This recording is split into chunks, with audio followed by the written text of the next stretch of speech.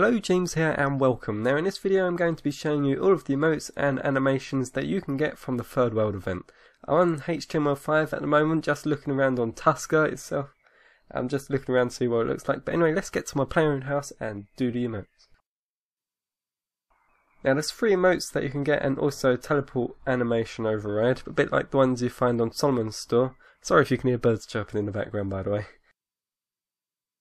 I'm pretty sure it's, it's exactly the same as the animation that plays when you teleport to Tuska, except you can use it after the world event and to any of the lodestones. This is just so you can help you if you can't decide what to spend your points on, and so you can see the emotes, in case you want to buy them. But there you go, hopefully this is helpful. Leave likes, that will help me out, subscribe to see more, and I'll speak to you soon.